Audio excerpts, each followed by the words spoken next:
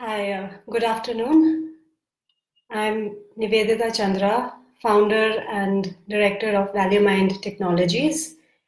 And today we're going to do a session about how digital HR is going to impact the workplace and what we can learn from it.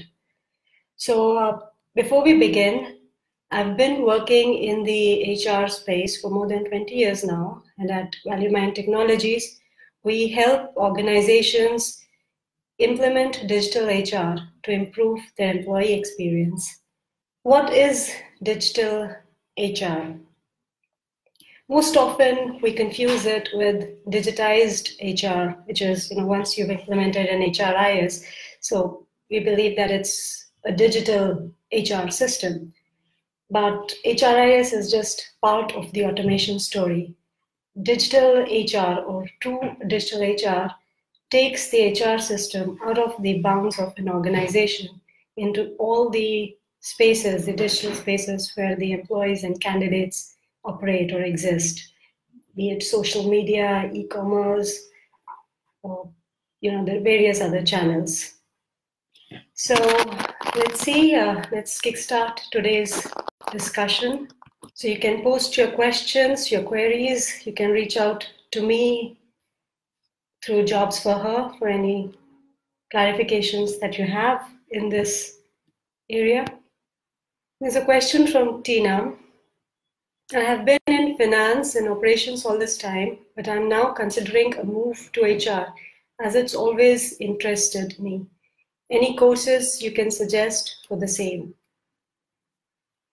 So um, yeah, there are a lot of uh, courses these days available in HR from various institutes, uh, uh, ACHRM, and you know there are several other certification bodies also that offer courses. Uh, and there are uh, postgraduate colleges like uh, TISS or XLRI, or you know depending on which city you are in, that offer long-term and short-term courses ranging from three three months, six months to a year in HR.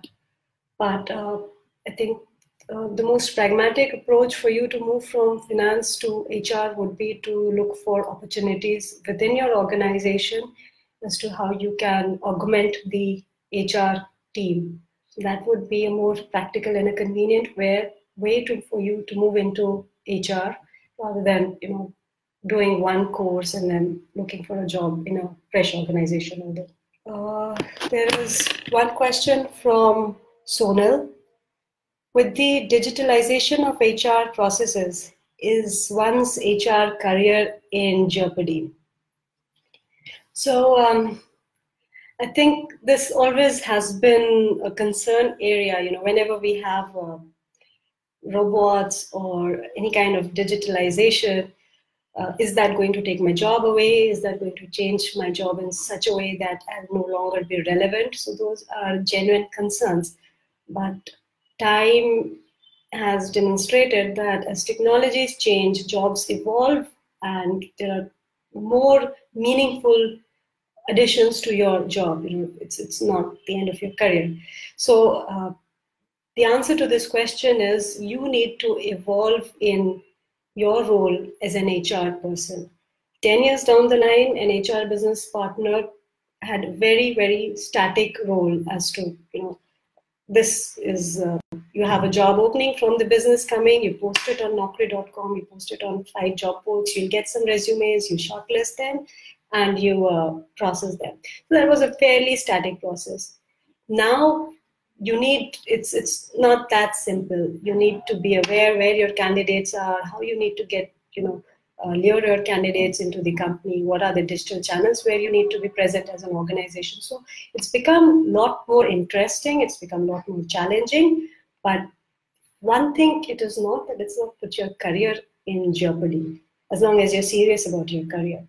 So yes, careers evolve, but they're there. They're more, in fact, they are now more relevant. And HR is no longer just uh, just an admin department. It is very much a, a, strategic business partner. So from that perspective, it's made your career even more relevant and important. Question from Priya.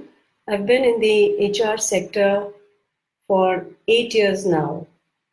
With HR going digital, what are the alternate careers one can consider?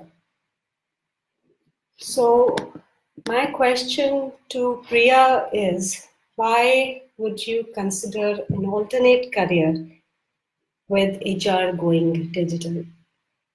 It's not that HR has gone digital and then there's no need for an HR person. In fact, now an HR person is all the more important and relevant in this scenario. So I'd say that there are loads of alternate careers that you can consider, but now is the time that you seriously put in more you know, learning and effort into growing your career in the digital HR space. So within HR, there are a lot more streams you know, marketing has become a key stream in HR, within HR. So um, I see a lot of questions around concerns of whether my career is going to stay the way it is, whether I need to change with HR going digital. It, I would like to, you know, junk all such concerns, and you need you, you need to be absolutely confident that your career in HR is going to become more meaningful and more important with HR going digital. There's a question from Devya. Can women on a break start with digital HR? What are the prospects? So, um, the answer to this is yes, they can definitely start but uh, it also depends what your previous skills or previous work experience has been.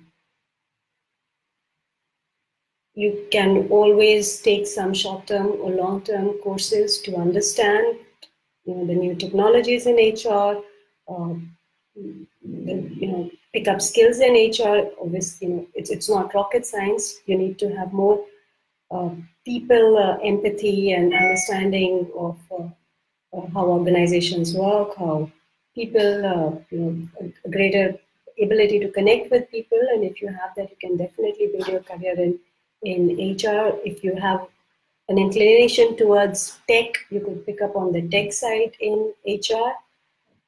Uh, so yeah, definitely you can, uh, you know, start off a career in HR, but uh, practically uh, for for women on a break to you know you might not start off with, uh, you know, real meaningful chunks of work to begin with. You know, that's that's true for all industries, for, for anybody starting in a new space. But uh, you know, once you're at it, once you've picked up the skills, start working with smaller organizations, do more meaningful roles, and then you can build your career in in digital HR. So, uh, Devya, uh, you have more than five years of experience in HR generalist role. Can you suggest any online courses through which I can learn more about digital HR? Uh, there are a lot of uh, courses on edX, Coursera, and uh, many of these uh, you know online online sites. They're available. Most of them are free. Some of them are paid. so you could look up courses around people analytics, uh, on uh, improving employer branding, on uh, the various digital channels where organizations can be present to get candidates. So, you know, depending uh, on your interest areas, there are a lot of courses that you can go through.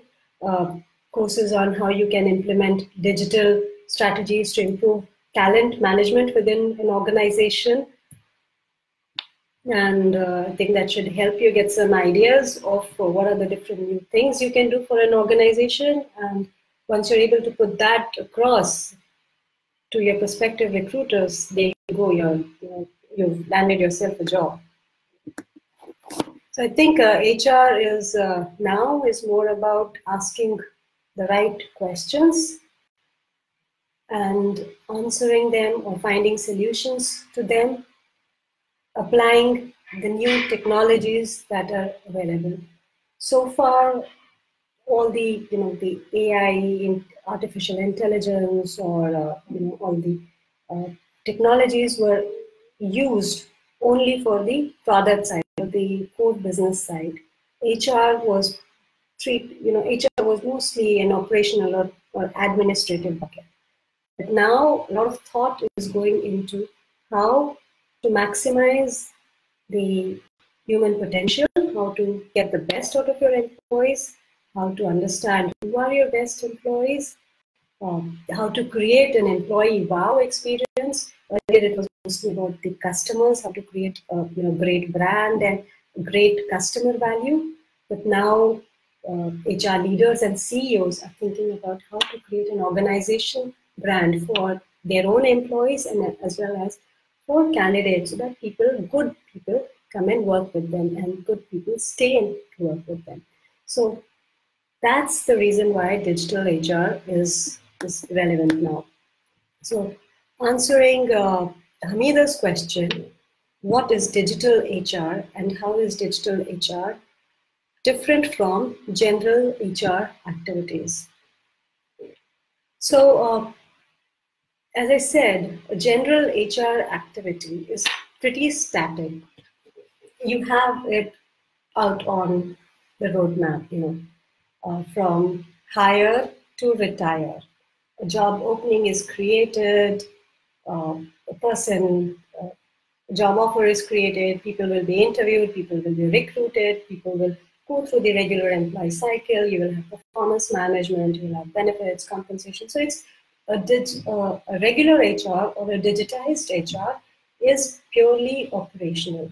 This, all these processes can be managed in a manual way for a small company, in uh, an HRIS for a large or for uh, an evolved company. You could have a system in place to manage the uh, the day-to-day operations of the company. So a, a normal HR is keeping the lights on, making sure that the system is running, making sure you have the system, you have the data of the people in the system. A digital HR is deriving value from the data or value from the people. So where the problems cannot be solved, today's organization's problems cannot be solved by an HR generalist or a digitized, it's just a digitized HR. You need to go a step beyond. So an example for that would be, did your HR had, have a social media strategy? Is your HR uh, present on Facebook or LinkedIn and Twitter and TikTok or YouTube to get candidates to you know, create an employee brand? Uh, to reach out to prospective candidates, to reach out to employees. So earlier that was solely in the domain of marketing. It was largely the target segment for that was also clients or external customers. Employees somewhere benefited from it. But now it's an all-out strategy for HR to be present in all the spaces where prospective candidates or employees can be to create a brand because it's important now to create a brand attract good talent. So how do you do that? You do that having a digital HR strategy. So once you have people knowing about your organization, people will apply to the job, you know, what uh, the openings, people will want to work with you. Now, when you have people coming in to work with you, how do you evaluate who is the best candidate. So you might have a thousand applications, but you might have a few job openings. So how do you sift through all those resumes to get good quality candidates? There you need to implement some digital HR techniques or you know, artificial intelligence algorithm to understand who are the best candidates to work with and who not so good candidates. And once you have identified the good people that you want to work with, you want them to join your organization, how do you ensure that they are glued on to your organization? So you, know, you might have pre-boarding, onboarding, gamification, a lot of uh, tools and uh, products available there that you can implement to make sure the candidate works, uh, joins your organization.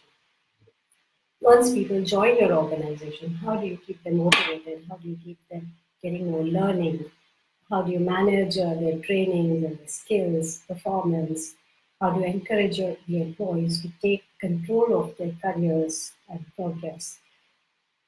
Most, you know, in, in HR, most of us know how uh, how dull it is to you know, get a training list these are the 10 trainings you have to complete and what a tough task it is for an HR uh, to make sure that there's 100% compliance and all the employees complete all the trainings within the stipulated time. In my experience, most of the HR uh, folks struggle with that. So in digital HR, we would look at options of how we can improve this either through gamification, either through introducing rewards, uh, uh, whatever uh, uh, you know, tools, techniques that we have. So digital HR is essentially taking charge of the problems, identifying the problem pockets or improvement areas and implementing the latest technologies or uh, techniques to fill those gaps. Priyadarshini asks, what is the best way to upgrade in HR industry? So I'm not quite clear what you mean by upgrade um, in HR industry. Do you mean to upgrade your own skills or you mean to upgrade uh, the HR system for an organization? If you could uh, give more clarity on that. I've already uh, shared how you can upgrade your skills. There are a lot of uh, uh, online courses, both free, paid. There are a lot of short duration, long duration courses. You just need to uh, go to uh, this, the university or college of your choice and uh, check them out. The best way, yeah, if it's your personal skills, um, first you should read on, you know, go through the online material that's available. There's loads of online material available that you can learn and the best way to upgrade would be apply that in your own job. Akansha, what can I do to enhance my skills in the HR field?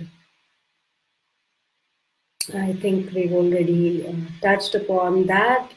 If you're working for an organization in the HR, uh, you need to see in how many ways you can you know, improve HR for your organization. So you can sit down with your uh, boss, your CEO, um, talk about what their expectations from the HR function would be, how you can improve it, and then uh, see uh, what what you can uh, where you can help. So the best way to enhance skills is to do it on the job. You can go through the courses to get a theoretical knowledge, but unless and until you implemented it, it's half baked. So, um, Hamida, what your question is what exactly digital HR consists and how helpful is digital HR to freshers? So, uh, are you asking how helpful is digital HR to freshers who are seeking to start their career in HR? Digital HR is not uh, you know, spec- one whole career line altogether. Digital HR is implementing digital technologies in the HR function. So HR folks, HR generalists, pick up the digital skills. And by digital skills, we mean working on an HRIS to start with, human resource information system or an ERP and getting an understanding of the various digital channels, getting an understanding about gamification, an understanding about how gamification can be built into talent management systems. So if you are to know what digital HR is, from scratch, you need to start working with the various systems that HR function uses. right from pre-boarding, onboarding, recruitment, core HR, compensation and benefits. So you need to have an understanding of what are the systems an HR function uses, an understanding of the various processes and how these processes work with the current social environment, the how how it's uh, how is Facebook, how is the current social communications environment affecting the processes and the people. Another important aspect of digital HR is analytics. So there, uh, how you, as an HR, you would have loads and loads of people data about employee demographics, about employee skills, about what employees like, don't like, where they spend their time on. As an HR, how you can derive meaningful insights from this data for your organization.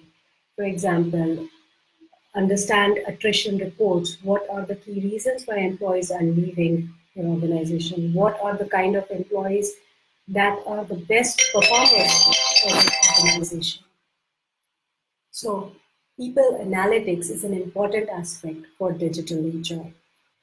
And how is digital HR helpful to freshers? So if you are a fresher looking to kickstart your career in, in HR, and if you have experience in digital, which is understanding of HR system, understanding of analytics, understanding of how to process data, then you definitely will have an edge in in HR because you would you'd be able to resolve or implement certain solutions.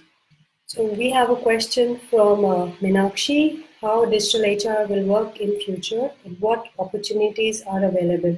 Are companies opting for digital HR?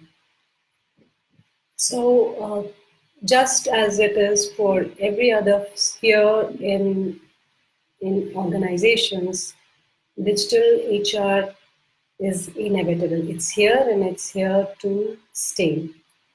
And companies are adopting digital HR and the speed of adoption is increasing you know every every every year every six months so from smaller organizations which are more agile we find them more inclined towards implementing a holistic digital HR strategy.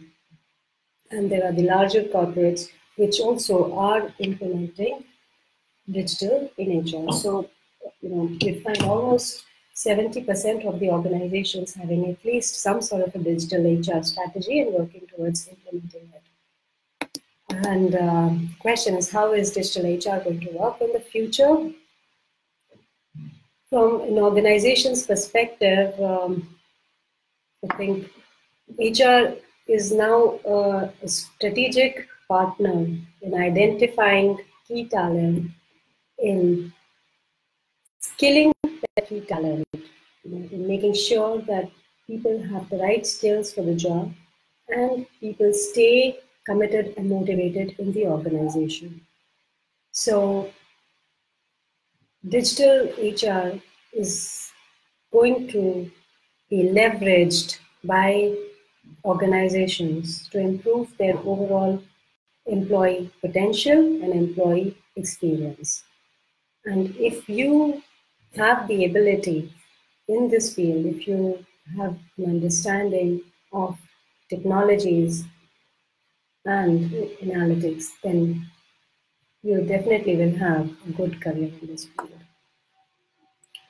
Do you need any certifications uh, for upgrading to digital HR and which companies are offering this? So um, there are no specific digital HR certifications being offered by companies, but a lot of one-time courses to keep coming up. Uh, you could check on Mercer or Hewitt, uh, uh, some you know, courses by KPMG around design thinking in HR. Um, other uh, there are HR think tanks like ACE-HRM or HR uh, Institute, which have courses. Um, Then we have uh, Symbiosis uh. So there, uh, you know, apart from uh, certain companies that offer uh, a short two-day, three-day course to uh, help you enhance your skill in digital HR, uh, there are uh, the colleges which have a strong HR function like TISS or Symbiosis or you know, some of the IIMs. So they also offer HR courses, uh. So you could check out the websites of colleges for courses in this field um, to improve your skills in this area. And you, you'd, you'd find a lot of courses um, online also on, um, on EDX or Coursera.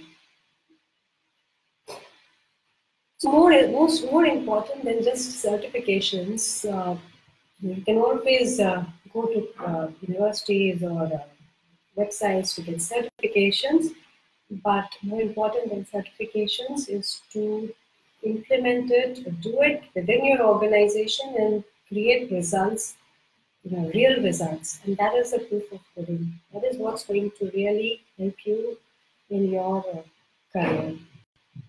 And if you are a woman who's looking to kickstart or restart your, uh, your journey, then uh, definitely uh, go in for any of the courses available um, and uh, start off with an organization in HR area. So I think uh, we are at the close of the session. It's 12.30. Uh, if you have any further questions, you could connect with me uh, through uh, Jobs for Her, and I'd be happy to answer all your queries and concerns. So thank you, everyone. Hope you had a meaningful and an informative session.